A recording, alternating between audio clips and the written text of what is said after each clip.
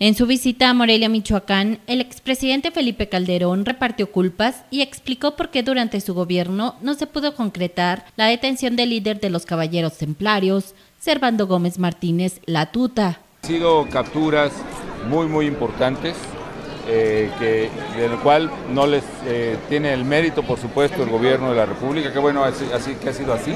Y además ha habido una labor de inteligencia y de organización de los cuerpos federales de muy largo aliento, que qué bueno que fructifique con ese campo. En una breve entrevista en la sede del Instituto Electoral de Michoacán, IEM, el expresidente aseguró que su gobierno persiguió a muchos delincuentes, aunque no pudo atrapar a la tuta. Mi gobierno fue el primero que se decidió firmemente a combatir al crimen organizado y logramos muchas capturas de los principales dirigentes y desde luego el desmantelamiento de la organización criminal requirió el esfuerzo continuado de muchas agencias y dependencias y qué bueno que se continúe.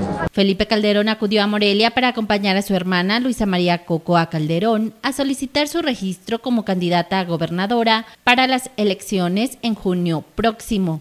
Con información de redacción, informa Cuasar TV.